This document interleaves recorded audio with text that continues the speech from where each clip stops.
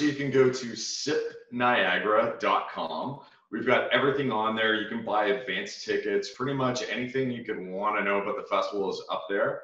It's constantly being updated because we still have more and more brands that are coming on board. We've got more surprises that we are also mentioning. We've got Fielding Estates Winery.